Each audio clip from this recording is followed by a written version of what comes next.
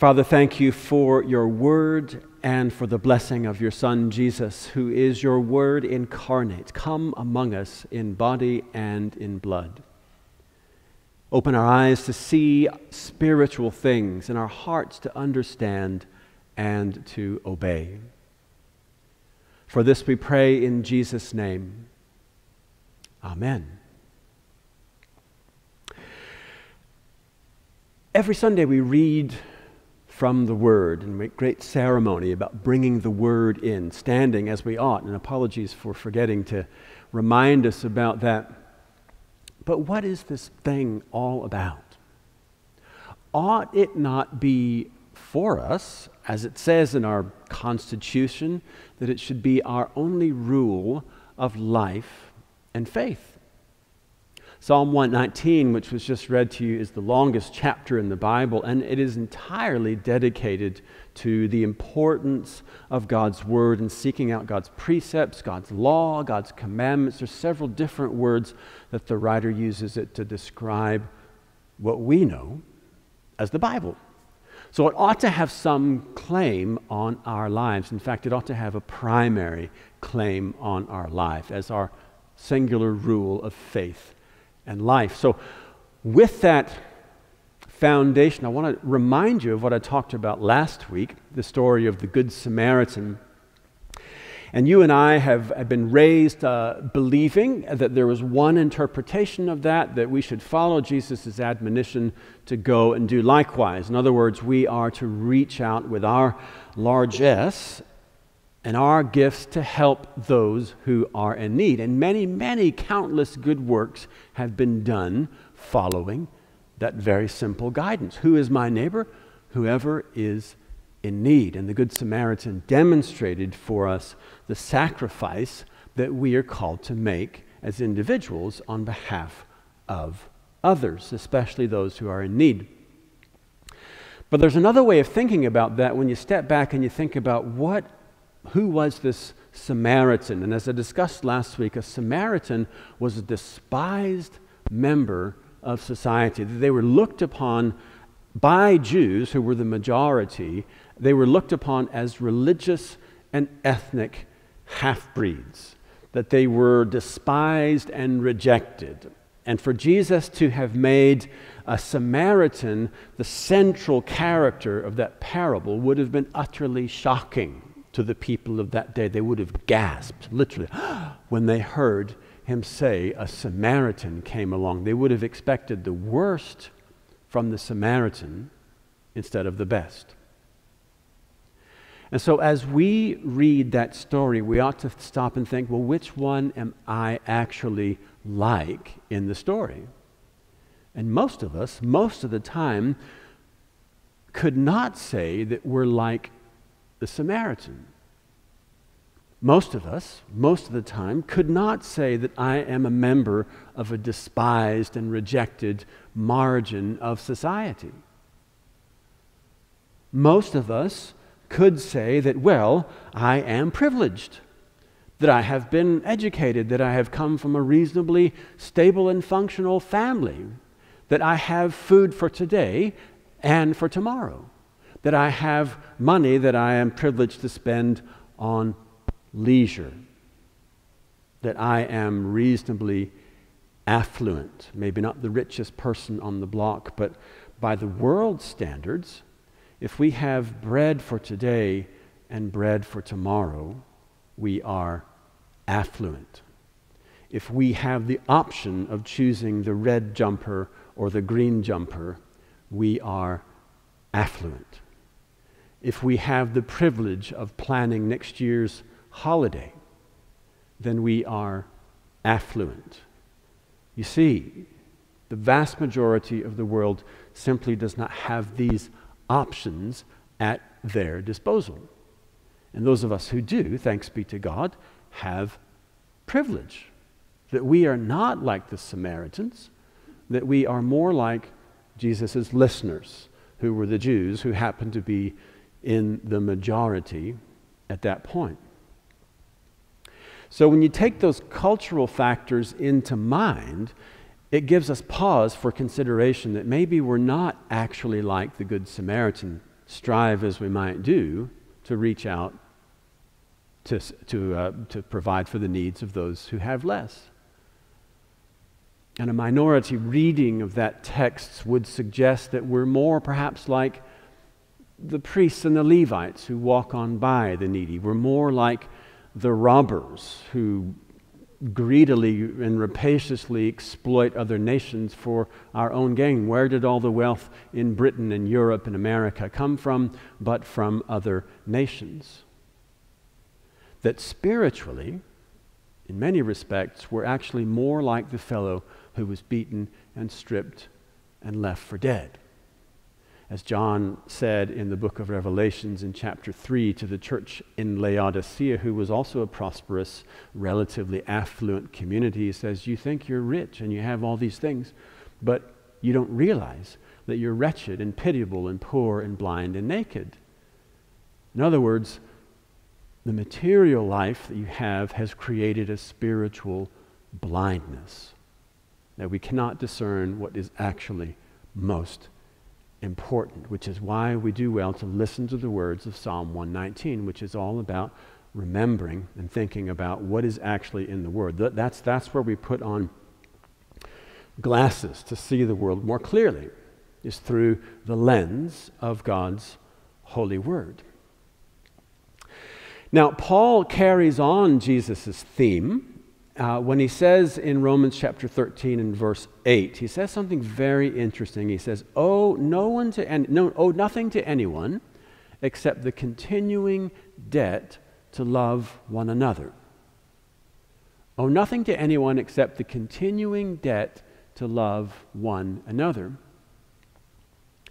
Now, again, when we think of loving other people, our inclination, my inclination, is to think that I'm to love people from my position of advantage, that I have more, therefore I share, that what God has given me spills over for the sake of those who have less. It is a greater giving to a lesser.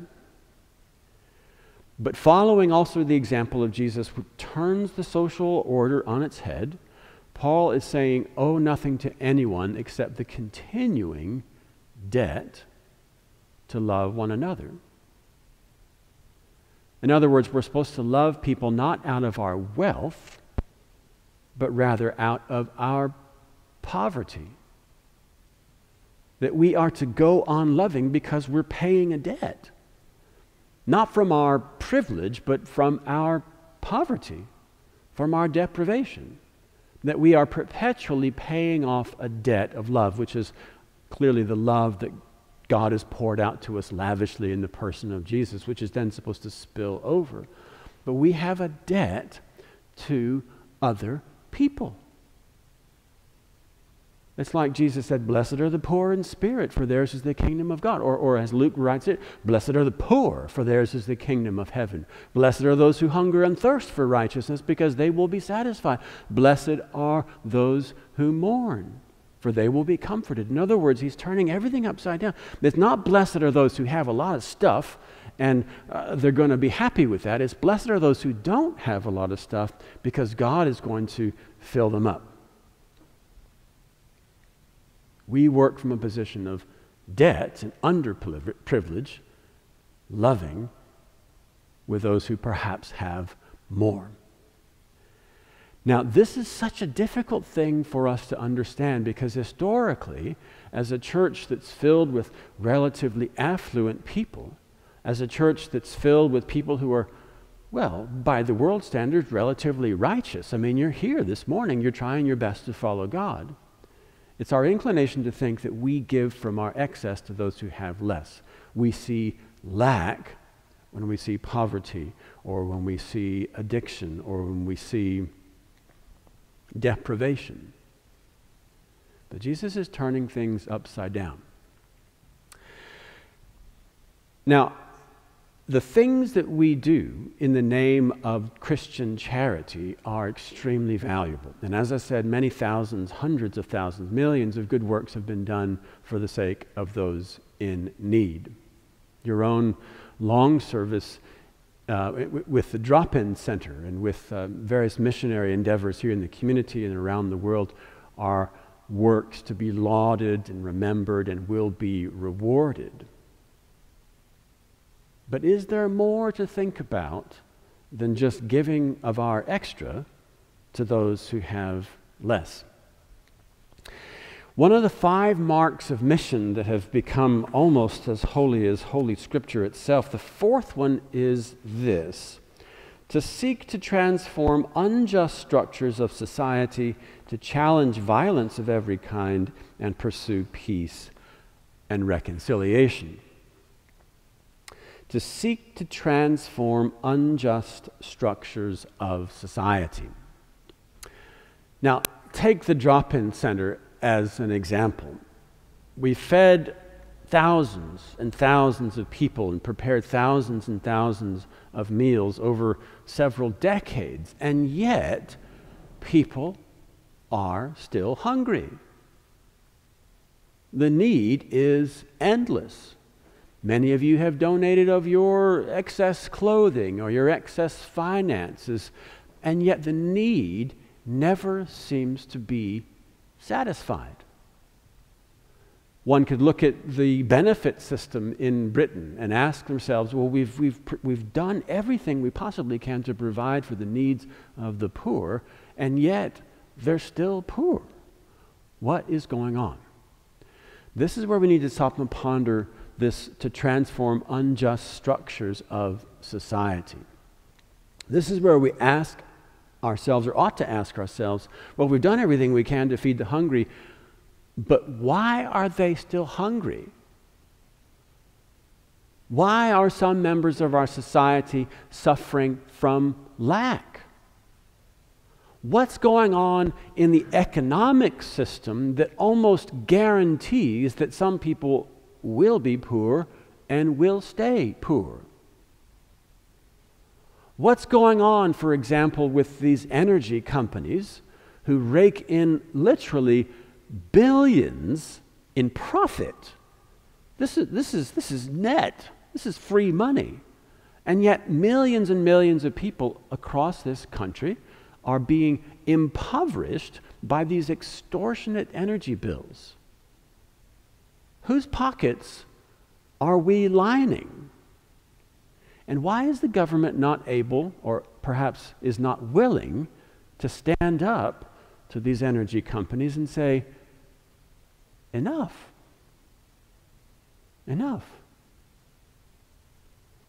Why do we have an economic system that almost guarantees and perpetuates poverty rather than one that is more just and more fair and enables everyone to have a reasonable slice of the pie. That's what it means to sit back and ponder not only the immediate needs of those who are impoverished, but the, ask the question why are they that way in the first place?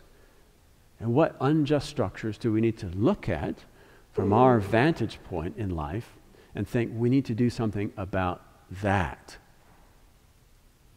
Now, Ann Morisy, in her books, several books, but one in particular, one called Beyond the Good Samaritan, which is along the same lines as I've been talking about, that there's something more that we ought to do. That those of us who are in a position of relative affluence compared to others in society ought to reach out with what she calls venturesome love. Venturesome love. Now, it's well and good to sit at uh, our desk and to write a check uh, or to make a few clicks on our bank account, online banking, and make gifts to those who are in need. But there's something um, almost surgical about that. There's a, there's, a, there's a gap that remains between us and them, that we never know the names or the faces of those who are on the receiving end of these gifts. And what Morisy is arguing, and I think is very compelling, it's very convicting for me, is that we're to go out and learn names and learn faces and share fellowship with people who we typically think of as charity cases. Venturesome love, that our discipleship as Christians is not just about attending worship and praying and faithfully giving and, and uh, reading the Bible. All those, all those things are important, but they are really effectively internal disciplines. But there's an external discipline that calls us outwards, that calls us out, literally, bodily, out of the comforts of our own home and into the presence of those who have less, of those who we typically think of as having nothing. Now, I love hearing the stories that you all have told over the years about the drop in center. And um, I think there's been moments where there's been a little window that's opened up. Because you all tell stories about the people that you met there. And I'm not sure if you, you realized, but it's those connections with the people that were actually the most important thing that was happening in those encounters because that's where there was a heart to heart moment. There's lots of funny stories and lots of sad stories that happened, but it's not about the food. The food is the means to a higher end, which is a human connection, one person to another. It's sitting down together. It's actually perhaps doing something really bold and sitting down at the table and eating with one of these people who are in need. Those are the transforming moments. I mean, you can feed a person day and night and they'll still be hungry. But what are they really hungering for? Perhaps it's someone who just looks at them in the face and says, How are you? Or what's your name? My name is Tommy, or my name is Margaret. It's nice to meet you with no strings attached, with no sense of moral superiority, with no sense of I'm giving out of my largesse because you're a case of pity or charity, but rather just person to person connection. That's venturesome love because it's scary to sit down with these weird people, right? And actually have a conversation. And that's just, that's just one example among many. Venturesome love. You might call it stepping out of our comfort zone. Because as Morisy and others argue, and I'll talk about this in, in later weeks, that's where Christ is. That Christ himself is on the margins. That all through the scriptures you see God's, what some scholars call the, the God's preferential option for the poor. In other words, God is with the poor and the suffering. That's, that's what whole, all Jesus' life was about, about reaching out to those who are on the margins and bringing them closer to the center. So if we want to follow Christ, and how many of you want to follow Christ? To be obedient. To, to go where Jesus is, not expecting Jesus to come to us, but rather us to come to Jesus. And Morisy argues very compelling, very simply, very accessibly, that if we want to grow in our faith, that we need to go where Jesus is. Literally, bodily, not figuratively, not writing checks, those things are important, but rather actually going to be with people who are different from ourselves. That's venturesome love. And we go not because we have more, and they have less, but rather because we have a debt, a debt of love that we are paying. A debt that can never be fully repaid because it's a gift that comes from God who has infinite resources, and we can only hold tiny bits of it. So we owe this love to others. And most importantly, we owe it to those who may not know it to begin with. and it's our job to be Christ present to them. And also, and this is most important, to find Christ in them. For Christ is there in their midst. So I'd like you to think about that.